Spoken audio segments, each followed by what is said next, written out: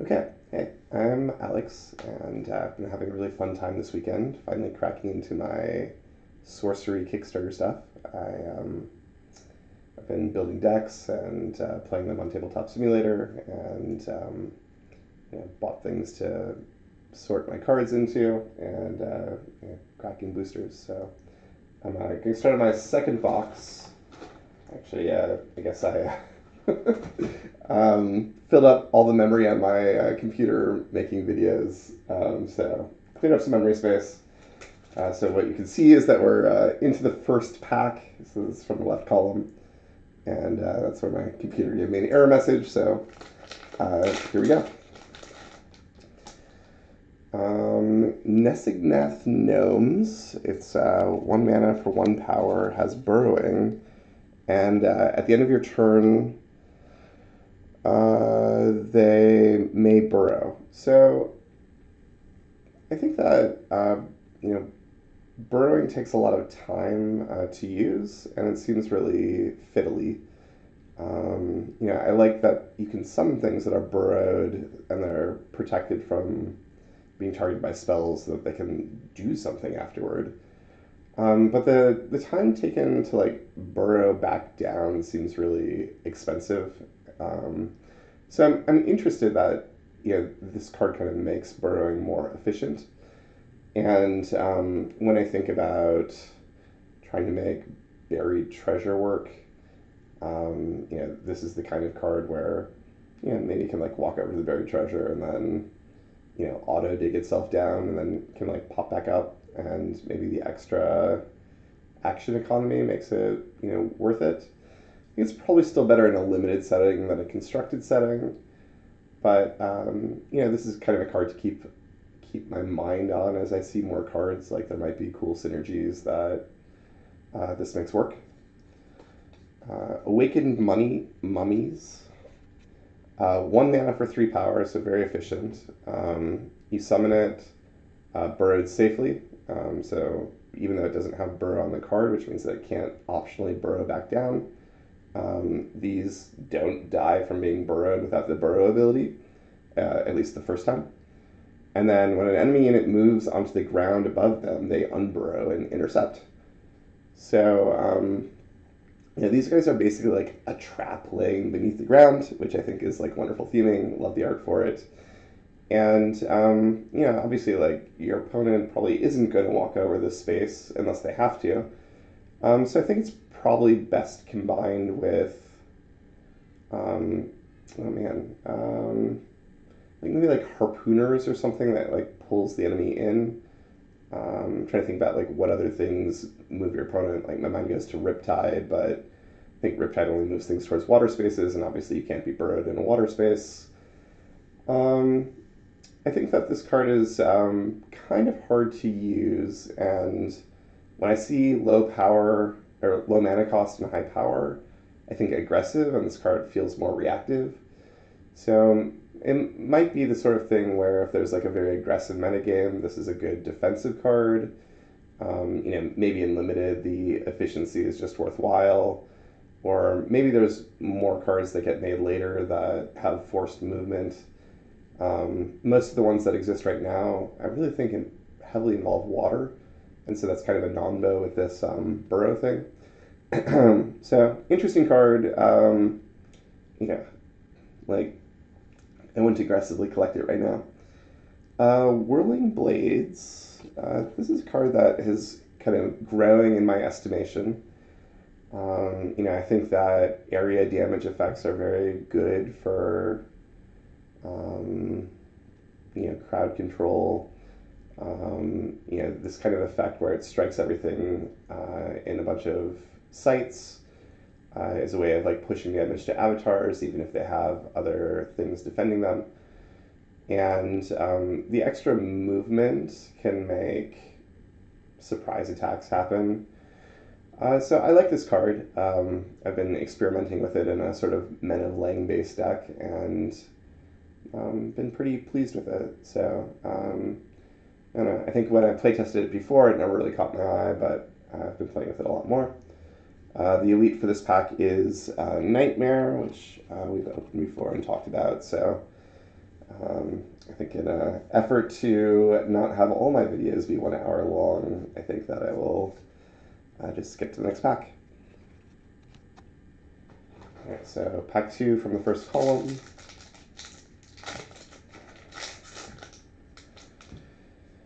What did we win?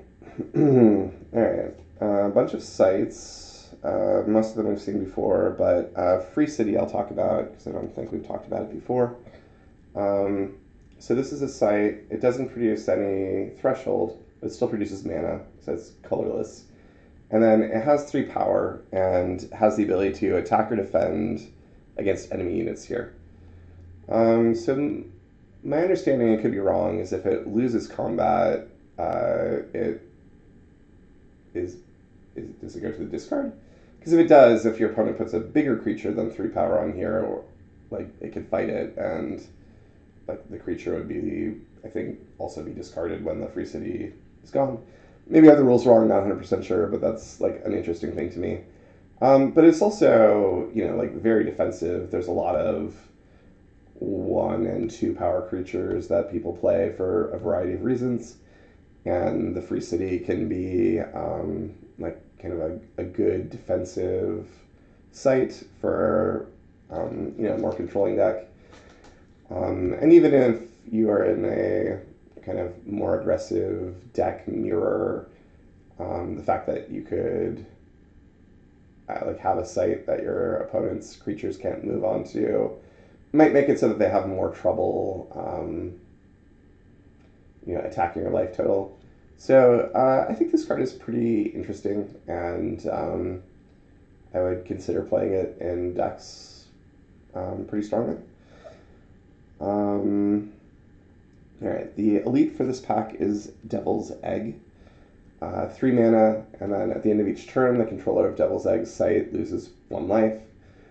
Um, so the, strategy is pretty commonly to uh, move some kind of creature with the Devil's Egg and either keep it burrowed or um,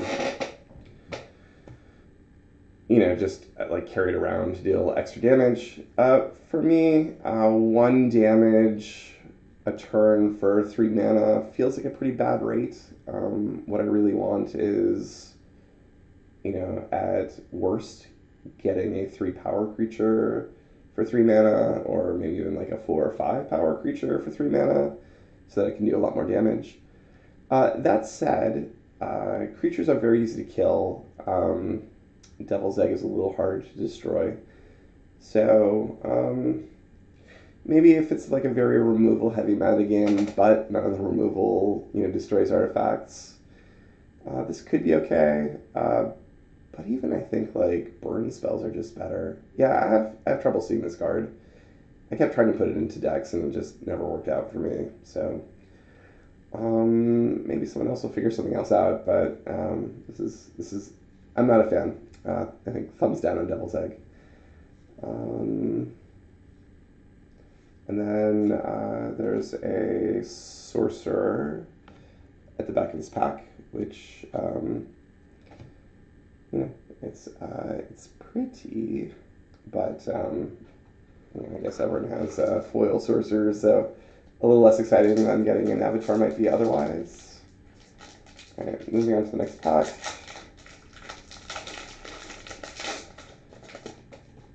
Okay, uh, dodge roll. I'm not sure if we talked about this card, but I'll talk about it again. Um, this is the only kind of reaction spell that's currently in the set. Uh, right, zero mana. You can cast during your opponent's turn. Um, you know, two water threshold. So it's a pretty strong like water associated card. But um, when something is when an ally is attacked, they can move to another adjacent location to evade the attack. Um, you know, attack is pretty limited wording, so it doesn't come up that often. Um, you know, I think that a lot of the time at Death's Door, you're getting hit by spells as often as you're getting hit by attacks. Uh, that said, you know, combat happens in this game, and you could really throw somebody's plans off by dodging. And uh, if their plan is to finish off your avatar with combat, uh, dodge roll can be infuriating um, when someone has multiple copies of it. So I think it's a pretty good card, and I think it's like a reason to think about playing water. And um, you know, I think it kind of depends what the metagame ultimately is, but um, you know, in this game, larger creatures can very easily dominate smaller creatures, and if you have a smaller creature with a cool utility power, and it, it just needs to live one turn before it does something cool, uh, I think this card's great. So, um, you know, I think that this card is uh, has a lot of potential in the right circumstances and is you know worth thinking about in deck building. Um, Stormy Seas. So this is uh, submerge all minions and artifacts occupying target water site. Yeah, shoot. Um, yeah, I just have a camera precariously perched on a cardboard box, so um, gotta be careful. So I think that this is um, you know, kind of like a premium water removal spell. Uh, it only hits one site, but it hits everything on the site, and um, you know it's the kind of thing that in this game can really punish trying to put too much in a single location. So, um, you know, whenever you're playing against a water player, you're always like trying to play around this card and other ones like it. And, um, you know, I would be pretty surprised if water players don't have, you know, one or more copies and really three copies if they're like a very controlling water deck. Um, yeah, I think this is just like a great card, and I would collect the hell out of it if I were a collector. But um, okay, next is Gyre Hippogriffs, four mana for three power. Now this card's kind of interesting. Um, both Airborne and Charge are creature abilities or minion abilities where if it has it, it usually costs a full mana. So four mana for three power airborne or four mana for a three power charger are both things that I would expect to see. So this card is um, you know efficiently costed technically speaking, and um, I think that you know airborne is kind of a defensive ability in that bigger ground creatures can't always pick them off. So unless it's getting killed by a spell, uh, this creature really gets to kind of like pick the combats it wants and the fact that you know it has charge means that it can either deal damage to an avatar or a site or pick off a creature. Um, and airborne and charge are actually kind of cool together also because airborne lets you move diagonally, so this can have unexpected reach from whatever site you're summoning it from. Um, I don't. I'm not saying like I love this creature. Like I don't like three power. Like if this were like five mana for four power with airborne in charge, I'd probably be really excited about it because then it could be like lightning bolted or minor explosioned. Um, and then you know I think like a bunch of the three power creatures that exist, like it could pick off at whim. But um, I think that this is solid. Um, certainly in limited uh, would probably be uh, something I'd look at. You know, not like a top three or four picks in the pack, but could be like a very high pick and um, I think you know it's it's like solid and uh, I think in a I guess it would probably be an aggressive air deck where um, you know maybe I was playing a bunch of like fireballs and lightning bolts and then because this creature has charge I'd feel comfortable playing it because if I top deck it it does get three damage like it's not just like a dead creature where like you know if my opponent just has creature removal that wasn't doing much against my fireballs and lightning bolts. Um, so that's kind of like the place I'm most likely to put it. This also could be like high on the curve on a, an aggressive deck full of creatures. So I think I think there are like real like places where this could be a role player. Um, Candlemas Monks, three mana, two power. Its uh, Deathrite is uh, proceed to the end phase. So if it dies, the turn ends. Um, I haven't really thought of any ways that this would be good on your own turn. Though maybe if you have like a Yggdrasil, which is like a land that w- when it is destroyed, you destroy everything. Um, maybe if you like as the player who triggers it, you get to choose the order of the triggers. So I think that you could maybe have a one-sided Yggdrasil like sweep, or um, maybe there's other kinds of things that are like symmetrical, but you get to choose the order, and this ends processing it, so you can like punish your opponent with all the like bad things, but then just like sacrifice this guy and protect all your stuff. Not 100% sure that's the way the rules are currently working, but I think it is. So um, that's interesting. I feel like um, as a kind of like defensive card, you could also have this be kind of like protecting your avatar or something, and even if your opponent has multiple creatures that could like get there and attack your avatar, because you block with this one first, it dies, and then like you end your opponent's turn prematurely. Um, there's probably like a lot of setups like that. Um, it could be an interesting combo with um, I think it's called like Old Oak or Blasted Oak or something. But Blasted Oak requires, if possible, targeting like the Blasted Oak or its site or things in its site, over, like preferentially over other things. And so if you have a Candlemas monks like standing next to the oak, um, if your opponent is trying to like cast any burn spells or you know removal spells, they're going to have to like do something that kills your monks and end their turn. Um, maybe that's overkill. Maybe the blasted oak was already doing its job, but um, yeah, this is like this card's kind of like a puzzle box, and I think there's like a lot of interesting possibilities. And certainly, I imagine as more cards get printed, there'll be more interesting things to do with this card. Um, so even if it's not great now, it's the kind of card that I would like collect it and when it's good with something else, um, you know, uh, pull it pull it out of your your binder and cash in. Um, all right. Do we have any ordinary cards that we haven't seen yet? nope. So, uh, moving on to the next pack. So I'll straighten it out so it's prettier.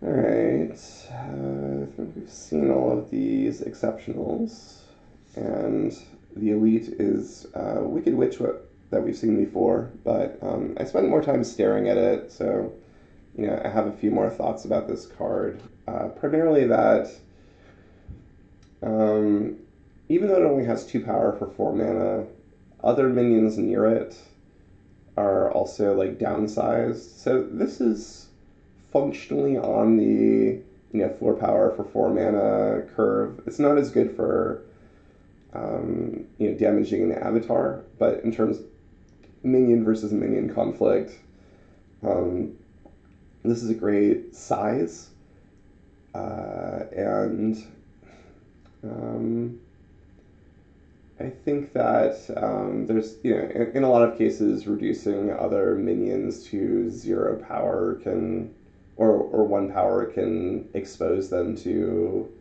other removal effects more easily or just make them really easy to destroy in combat. So uh, I think this is interesting. And it's also a spellcaster, which, um, if I recall correctly, I don't think Earth has a ton of things that care about, you know, a spellcaster as a locus, but, um, you know, who knows, over time there might be, you know, more things in Earth. And obviously, if you're playing with uh, another element, you know, the, the spellcaster part can be relevant. Um, I think that in limited, this is more likely to be balmy. Like I'm guessing, based on rarity, there are a lot more just two power creatures, and turning a thing from a two to a zero is phenomenal. Um, mm, mm, mm. Alright, so we got a foil in this pack. It's a Host Eagle. And, um, yeah, I think that this is a card that might be constructed worthy. I think that um, three mana for three power, like I said, is not my favorite. I think it's not a bad rate. And, um, you know, there are like interesting combo y things that you can do when moving other minions around. Um, like they're just a bunch of like weird water creatures that do things in a space that are miserable for your opponent. Um, maybe even like gargoyles or basilisks have less than three power. I'm not sure if they turn the eagle into stone, so that might not be a good fit. Um, but like I don't know, there's also like the amoeba, which every space it moves into just gives it plus one power and it you know it occupies more spaces. So if if at the very beginning of summoning an amoeba, you know this eagle carried it through you know space, makes it get a little bigger.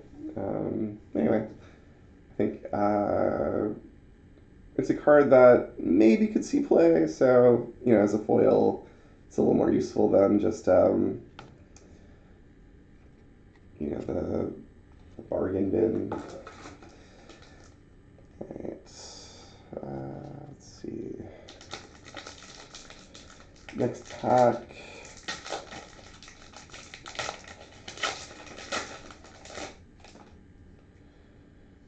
Okay, I don't think we've talked about this card yet. Fade Changeling. Um, so, three mana for one power. You can summon it anywhere, and when you do, you can return a minion here to its owner's hand. So you can do it on your own minions or your opponent's minions.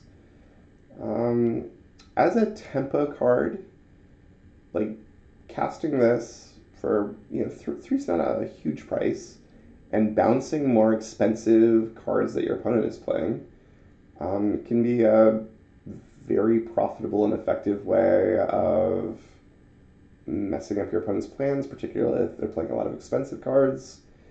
Um, you can also, they might have a, a defender in place, uh, and you can bounce that and get in some damage. So, like, that, that, that part can just be uh, frustrating for your opponent, and this is like a classically powerful tempo card.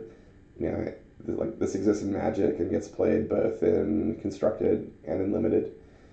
And then um, there's the the whole combo-y part with your own cards.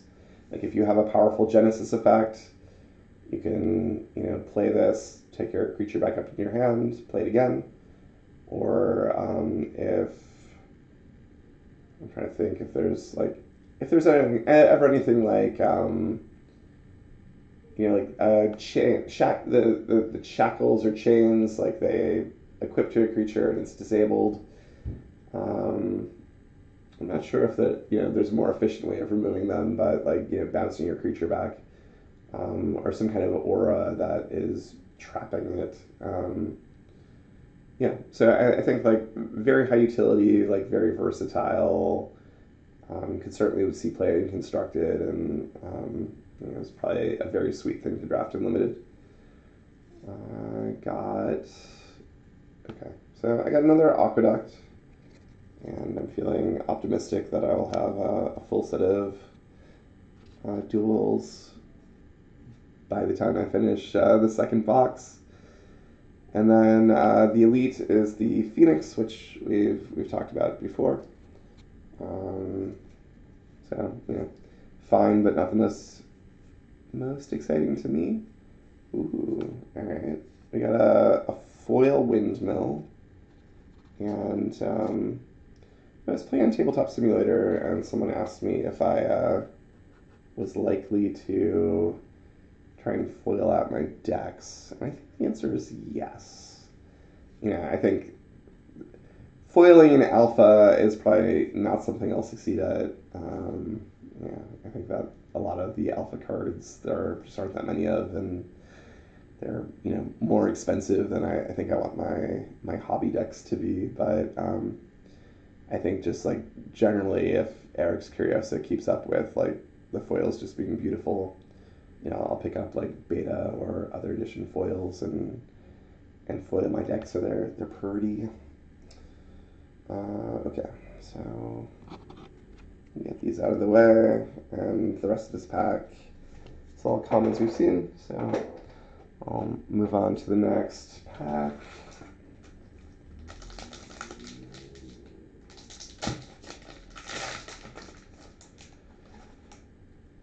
Okay, uh, Guile Sirens are um, maybe a perfect example of a water card that does weird things um, to other creatures.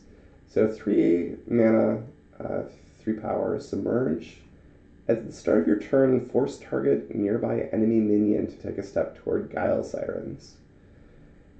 So um, I'm a big fan of this card. I think that um, you know minions going to the wrong places is great uh, if it's not your minion, and um, you know I think that there are uh, you know possibilities like um, giving this flying or airborne and putting it in a chasm so that you know, they, they lure things to their doom. Um, you know, this can be combined with things like a shark or a anglerfish um, to you know, make something move within the water and then you know gets like auto attacked. Um, or just like if you um, you know flood your opponent's um, space, you can just force minions to leave your territory and you know stop draining life from your avatar.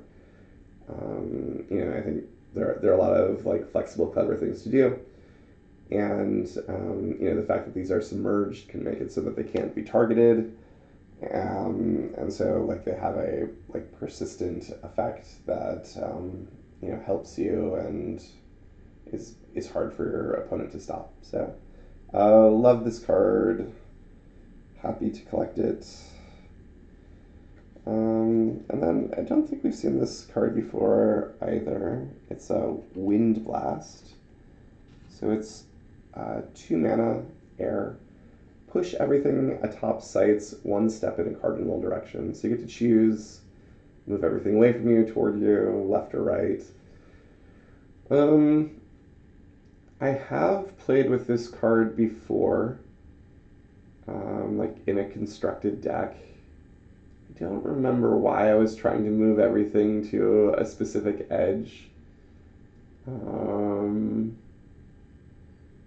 I think that um, maybe one of the modes I was thinking about was just getting a little extra movement to help my creatures like charge towards uh, the other player's side to hit their sights um, this is kind of, I mean, that's kind of interesting if you're playing some kind of horde strategy, like, you know, a bunch of gray wolves, or you had a bunch of earth creatures that had synergies with each other, um, but you didn't want to stack them all in the same space because you didn't want to be vulnerable to a, like, targeted sight removal spell. This is kind of an interesting way to, like, move all of your guys at once Alternatively, if you're playing a water deck and you know you've succeeded in kind of like making two rows on your side water and having like flooding effects, getting into the third row, but the you know the back row your opponent has mostly filled up with you know bedrocks or something, or just you, know you, you don't have flooding cards to get back there. Maybe like Wind Blast is an interesting way to like pull things out into the water. Um, so I think this is like an interesting role player. The fact that it just moves so many things, you know, feels like it does something. Um, you know, and it's inexpensive. Um, obviously, like paying a whole card for it can feel costly, but um, I don't know. Like forced movement is in my experience, been pretty good in this game, and mass forced movement has to be good in the right situation. Um, got our elite and this is uh, Angel's Egg, which um, I've talked about before, and um, you know, no foil. So on to the next pack.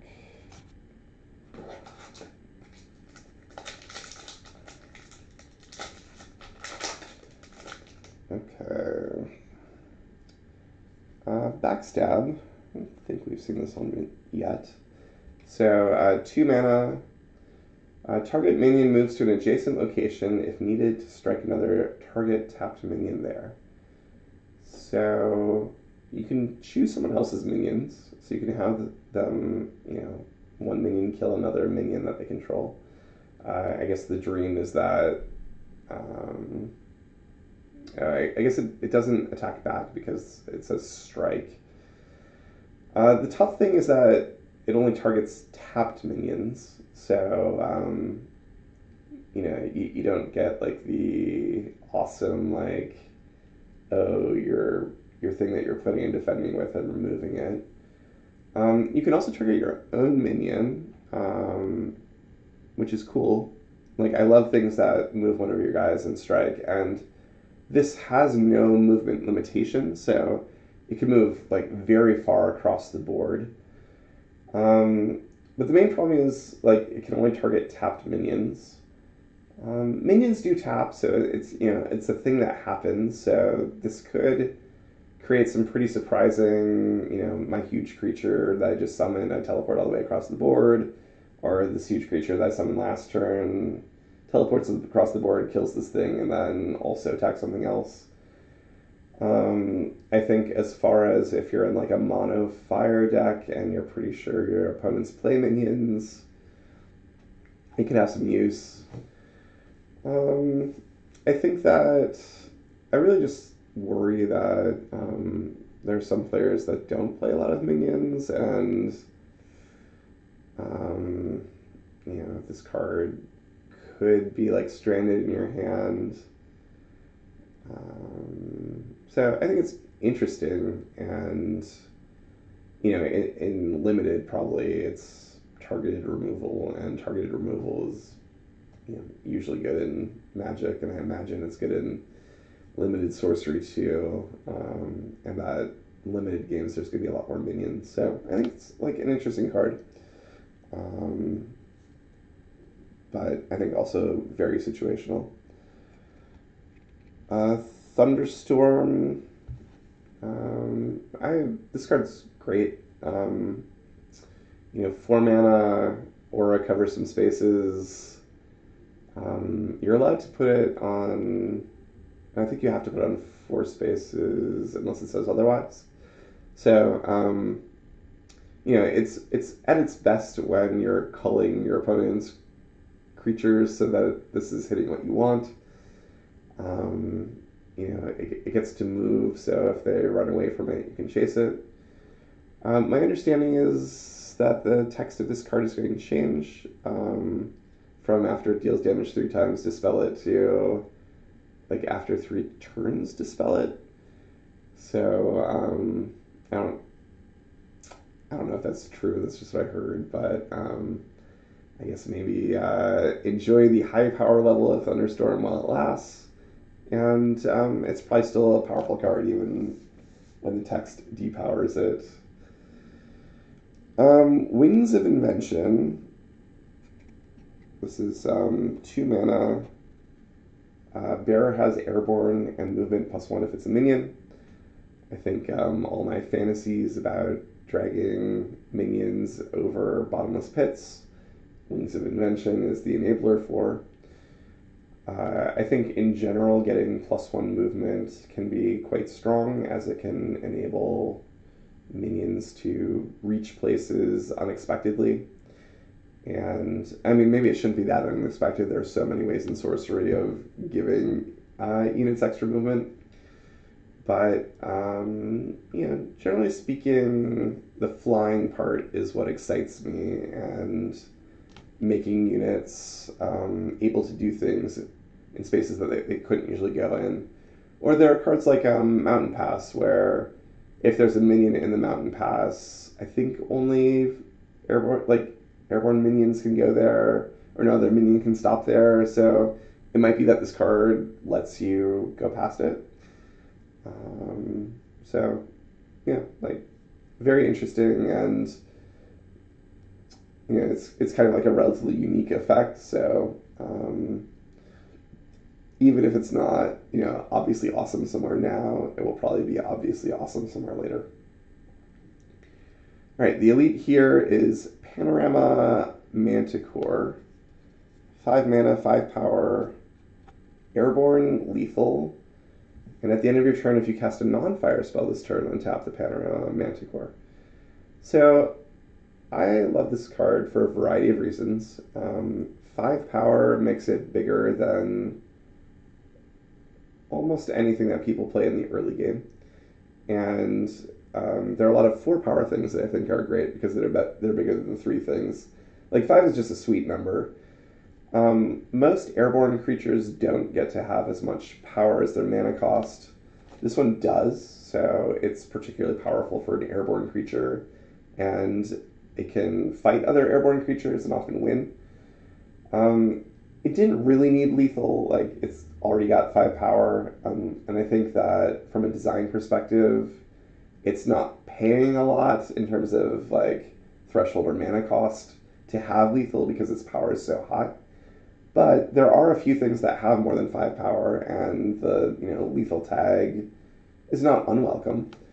And then I like that this um, this card encourages a multicolor strategy, and um, you know when I look at building you know mid-range decks that I often are like air, fire, and maybe something else.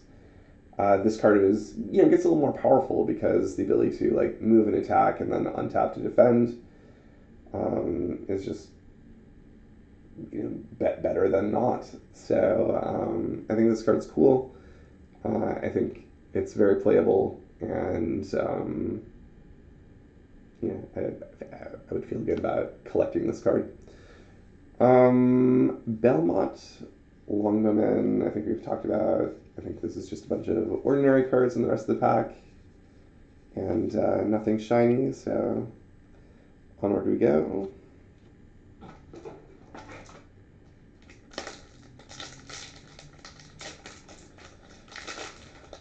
Okay, so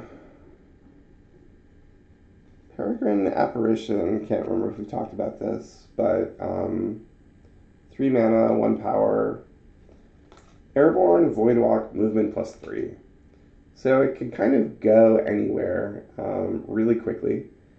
And the question is, what do you want to transport anywhere? Um, you know, I've seen people stick a devil's egg on this. Um, you know, I still think devil's egg is like silly and inefficient, but um, if you needed something to transport a devil's egg, this seems fine. Um, there's also like a Armageddon bomb or something like that where you know it explodes for 20 damage in whatever space it got dropped off on. So um, I've seen this used as the like delivery creature for that, um, which is like kind of interesting. Um, but I think like there are plenty of other creatures with enough mobility to do that job. Um, the thing that interests me the most about this card is actually that it's a spirit. I think that there are, you know, a few cards that have spirit synergies, like the pirate or phantom ship, where whenever it exits the void, it um, you can summon a spirit, or um, you know, I think like evil presence. I think lets you uh, give spirits haste. Obviously, this only has one power, so or you know charge. Um, so it, attacking on its first turn isn't that interesting, but maybe there's something else interesting that it does. Um, maybe you know it's a good candidate for some kind of equipment. Um, and then you know I think like the void walk can be interesting too. There's like a Lord of the Void or something like that. No, that's not Lord of the Void. There's some um, void horror creature that all your dead void creatures come back, so that's kind of interesting too.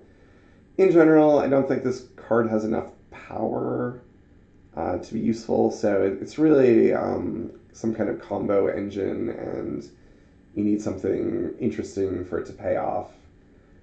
Um, like a land deed, you could put the the card that you control the site that it flies over, and maybe do something dirty like you know, turn one play a aquamarine core, turn two you play this, turn three you play like a mix, and then a deed and maybe your opponent's only gone twice, so you fly over and have a land deed on half their lands. But it, it's such like a magical Christmas land because like what's the chance that they can't do anything about that? Um, seems low. Um, so you know, uh, can't see it right now. Maybe if there's cooler things to fly around later, uh, it could be cool. Um, next is the Brobdingnag Bullfrog. Brobdingnag. Yeah, sure. Uh, when it enters play, uh, it swallows another minion, and then it stays swallowed and disabled uh, until it leaves the realm. Uh, obviously, like keeping the frog alive is challenging, but um, you know if you do, it's a temporarily take something away from your opponent, which you know even sometimes if you're just buying yourself a couple turns of not being attacked by something big, uh, that can be totally worth it. So you know I think this card is probably like constructed worthy and yeah, know, certainly a thing that to play in limited where it might be a little harder to remove the frog. Uh, Outback Strider. Uh, this card doesn't excite me at all.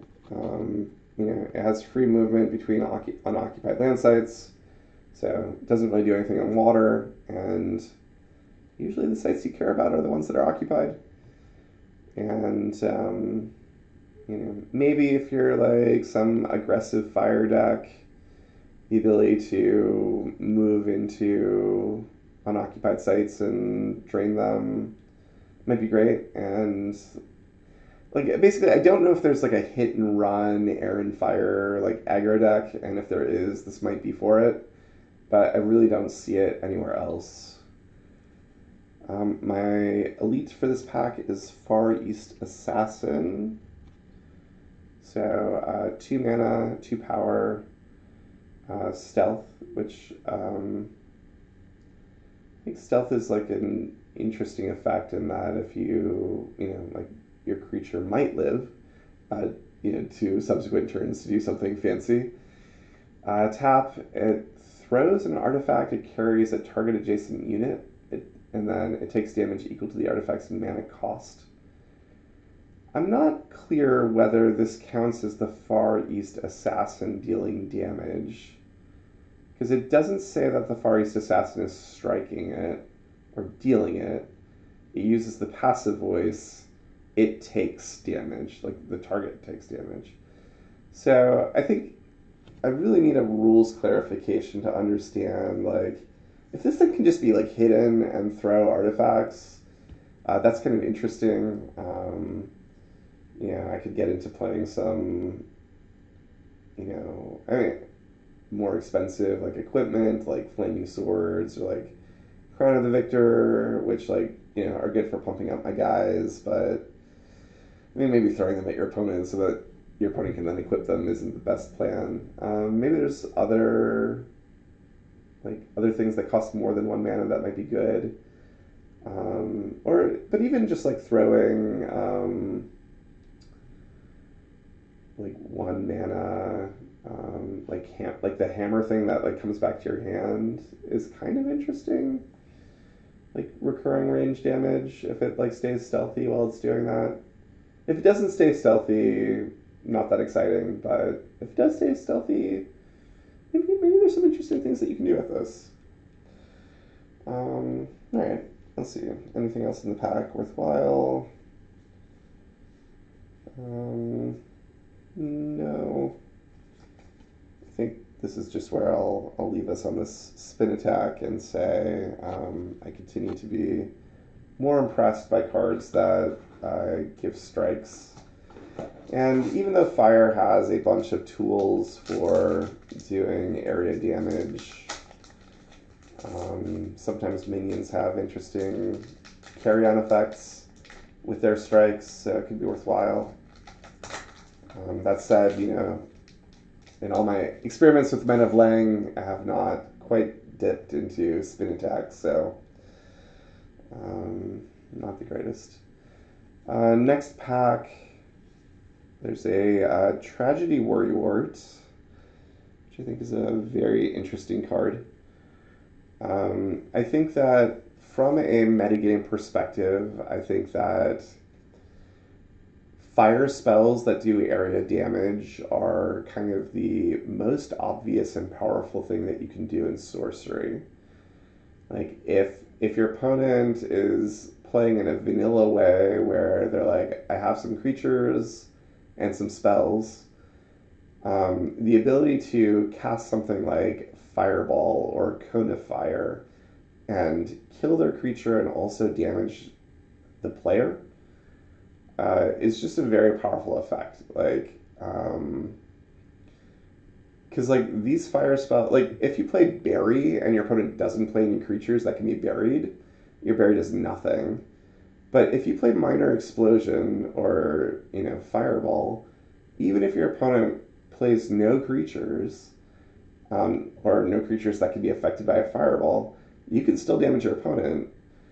Um, and you know, I think that the deck that won the first tournament at Gen Con was like pretty burn heavy. So, given that that is maybe like the level zero metagame of sorcery, Tragedy Worry Ward occupies a very special space, which is all of these spells that are like super powerful um, get turned off. And a lot of these decks that have fire and lightning spells as their removal don't have other removal. Um, so the fact that this is exceptional means that you can have up to three copies in your deck, like you can build a strategy around it. It's also a mortal. Um, so there is a tutor in Earth Magic that can look for exceptional mortals. Uh, so like your ability to find tragedy worry, worry ward is very high if you want it. Um, and it can also be part of a toolbox where you know you just have one and a tutor that goes and finds it. Um, I think this is um, yeah strong recommend if you're like trying to figure out what cards are going to be good over the long term. Uh, this feels like a, a metagame centerpiece, and um, yeah, like happy happy every time I I see one. Um, okay, the elite for this is Drums of Doom. Uh, five mana. Damage dealt to minions nearby is lethal. So, uh, this is interesting. Like, if you have a bunch of low power minions um, that can, you know, kill someone's higher power minions. So, this kind of like leans more towards a swarm strategy. It also makes spells like Firebolt, where it shoots three fire bolts, uh, possibly able to kill three big minions. Um, you're probably dead if there's three big minions, so maybe that's kind of like a pipe dream. But um, I think this card is pretty interesting. I guess if the assassin can throw things and not lose stealth, um, you know, being able to throw uh, a drum for like five damage sounds uh, really painful and uh, kind of sweet. So, um, and I guess also your assassin could, uh, in a flavor fail, have this drum and play it, and then like throw some one mana thing and kill nearby minions. So, um, I think it's also pretty interesting with uh, any card that moves minions and makes them strike, or uh, with ranged units that get to strike but don't get struck back. Um, yeah, th- th- this is like very inviting with a bunch of like build around strategies. But it, it feels like it's mostly good when other players are playing bigger creatures and you're trying to make your smaller creatures better. So if in some future there's like sideboarding, I could see it being like a really good sideboard card. Um, or just if you're in like a metagame where there's a lot of big creatures and you're playing smaller ones, um, this could be interesting. Feels really good in Earth, like, you know, where if you play like a full set of villages, you could summon up to like 12 soldiers, or you play like Border Militia, and you just have a lot of 1 1s, and, you know, it allows you to trade. So, you yeah. I think this is a cool card. Um, what else we got in this pack? Alright, nothing shiny, and I think at this point we must have seen all the ordinary cards. Maybe I'll get surprised, but. Um, Alright, so at this point the pack construction is three extraordinaries, one either elite or unique, and then 10 ordinaries and a sight in the back. I don't know if the sight is also always ordinary, I think it is. Um, Alright, so we got another copy of uh, Tragedy Worry Ward, which is great. Happy to build up towards my playset. Um, Shield Wall, 3 mana, Earth. I guess I should put this where you can see it too, instead of just reading to you. Also, I love the art on this. I like love medieval knights and um, kind of like spent a lot of time like gazing at art about England and you know Vikings and um, you know France and just the coloration in this is like spot on for all of those like illustrated books I, I read and uh, this card just makes me feel so nostalgic for my youth.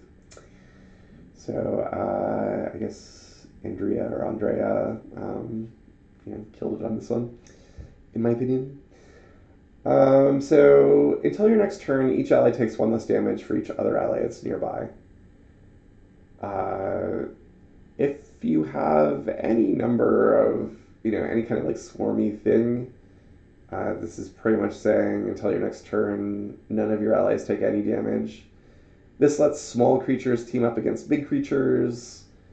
Um, this lets you know, things fight things with lethal without dying. Um, you know, I'm not sure that in an Earth deck I would like, you know, pop in three copies, even if I was being super swarmy. Like, I might like having Shield Maidens better, but um, it's the sort of thing where I could see having, you know, a copy or two for like, you know, like strategic, interesting moments it's probably more of a limited card than a constructed card, where um, you know, like targeted removal is desirable, but uh, like a card like this that just ruins combat math for your opponent is sometimes the next best thing. Sometimes it's even better. Um, this is just like a very strong effect in a game where people can build up creatures over time. And I think in constructed, there's too much like area removal and like sweepers, but in limited, um, those cards are um, generally in the higher rarities, so you're just not going to see as many of them in games. Um, all right. Uh, and then another card we haven't talked about yet, and I really I think about this card a lot. Uh, Seirawan Hydra six mana for six power, so um, you know it's, it's, it's an acceptable place on the power curve from my perspective. Uh, but then it's immune to non-lethal damage. So unless it has the word lethal, uh, it's just not going to kill this creature, which is both great against other creatures. Uh, but there are also lots of cards that um, you know it just doesn't care about. So like yeah, I mean, Fireball only deals four damage, but it also doesn't care about fireballs. Um, it can be reading a Panoptic Tome, and it doesn't matter how expensive the card is, because it ignores the damage from the Panop- Panoptic Tome, or however that's pronounced. Um, so, like, I just, like, I think that six power for six mana is a great rate, and um, I think that once again, we're talking about this metagame where it's very damage focused. And uh, I feel like these Hydras are a foil for that metagame. And it is often the case that um, if there's a dominant metagame established where something is clearly powerful, uh, and a lot of people are playing it, playing cards that are strong against that um, can make you just very well positioned and so I think that this card will kind of timelessly be well positioned both because like its size is good and its ability is just a very strong one. And you know, from a design perspective, I like that this card kind of captures the essence of being a Hydra, and um, you know, I think like the art is good, and also because the um, you know most of the burn spells are in fire, like it being a water card, so it's kind of like a hoser for fire in a more subtle way, uh, feels right. So big fan of that one. And then um, I'm going to take a second to just talk about tufted turtles. I think that when I talked about them before, uh, I might not have given them their full due. Uh, you know, the more I think about the metagame, I still wish these had like three power, but they might have been too good if they had three power. I kind of wish that they cost two mana, and maybe they would have been too good if they cost two mana. Then maybe they would have been better. Who knows? Anyway, they cost what they cost. But um, I think that in a damage heavy metagame, I think that these guys are also everything they said about the Hydra is less true, but still kind of true about these turtles. Um, all right. Next pack.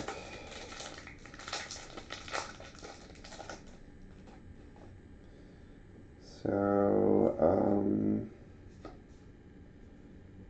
Mariner's Curse is a card that I don't think we've talked about, so I'll throw this down here. Uh, three mana, it's an aura. Whenever a minion enters an affected water site, submerge it and return Mariner's Curse to its owner's hand.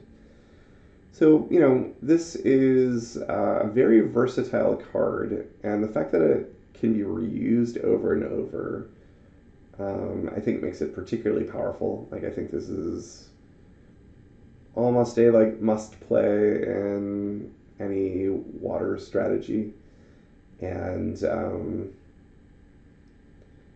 you know, when combined with things like uh, Riptide or Harpooners that have like forced movement into the water, you can, you know, kill creatures. So even though I keep on talking about the fairyland where I make things fly over a um, bottomless pit, maybe that's just the wrong approach because like Mariner's Curse just does it better. Uh, this also combines really well with uh, enchantments like Flood, which make a bunch of spaces also water spaces or flood plains so that um, you can really kind of like stretch the reach of Mariner's Curse.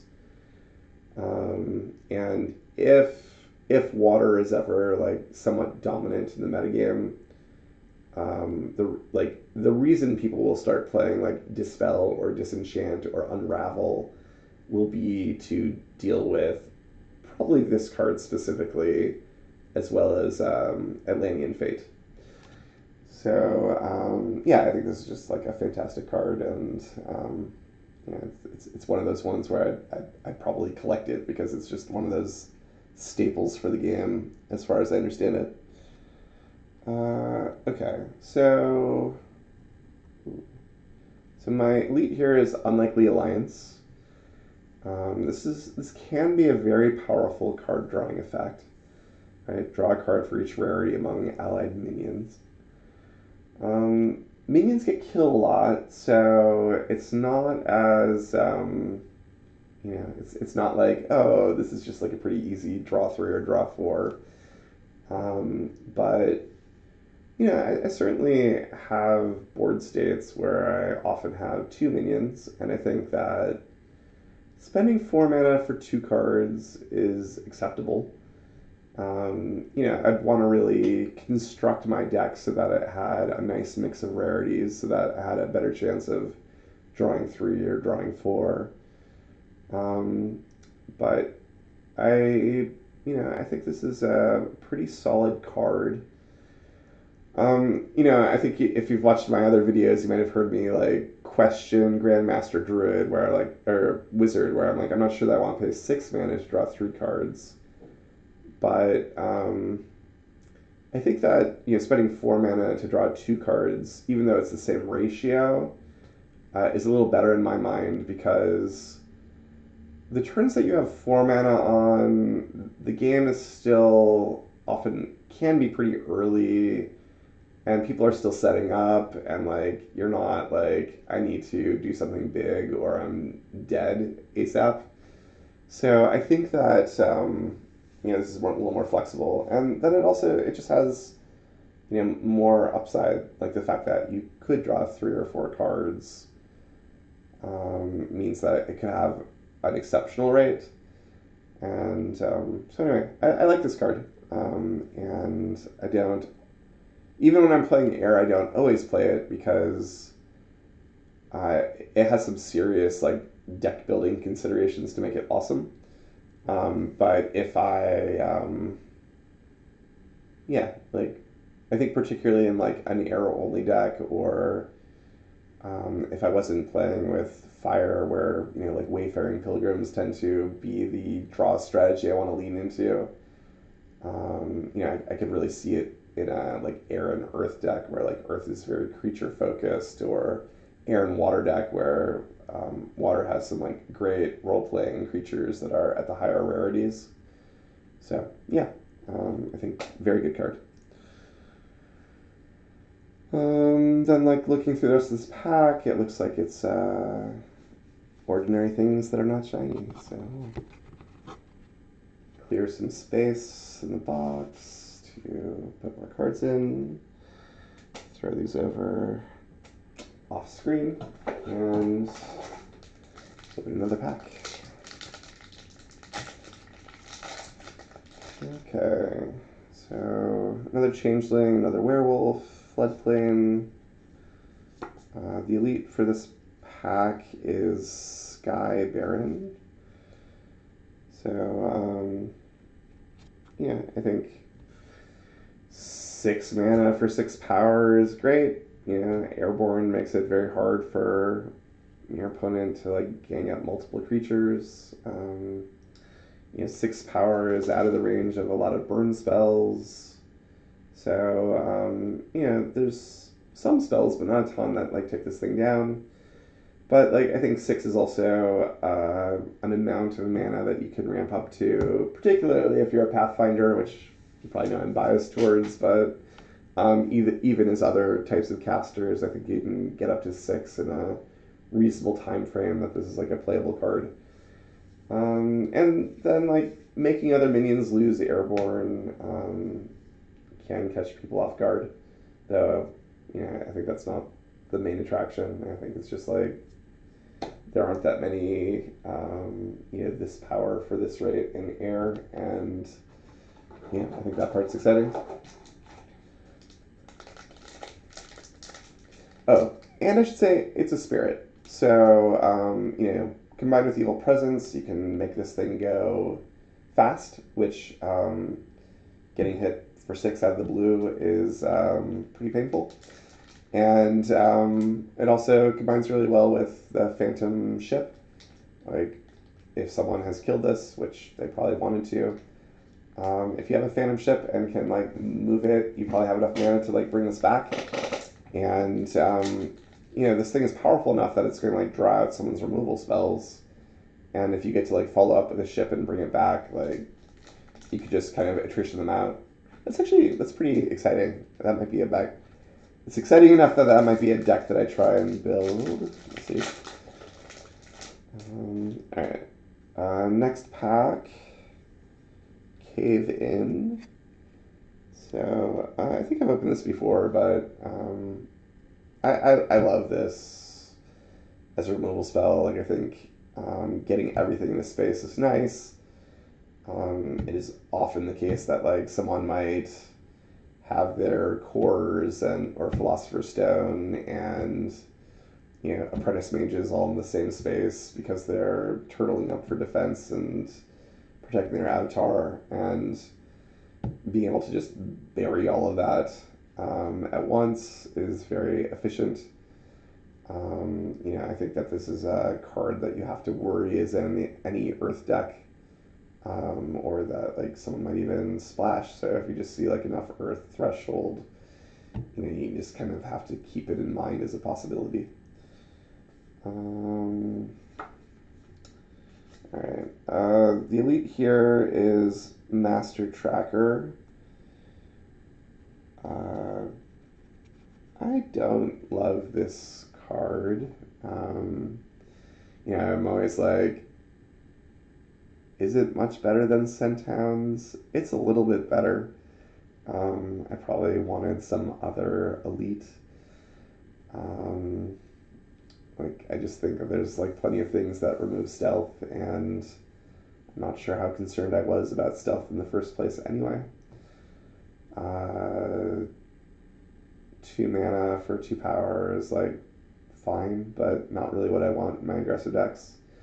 So unless stealth somehow becomes a lot bigger a problem than it currently is, like I'm not excited about this at all. Um, like maybe in the world where like sneak thief, like stealing cores, is a huge part of the metagame. Um, I might I might change my tune, but for now, I just I just don't see it. Like I'd rather just cover the ground in fire or like use an earthquake. Like stealth just doesn't protect a thing enough. I think. Um, like I tried playing some games with Fade and you know both got strained in my hand a bunch because like everything was just dead all the time. But even when I did it, um, you know my opponents just always had something that made it so that the fact that my creature was stealthy didn't matter. Uh, great. So that's uh, one third of this booster box, and uh, I guess as usual, I've talked an hour about 13 packs. So I'm gonna stop there, and uh, I'll pick up with the rest of the booster box later. Take care.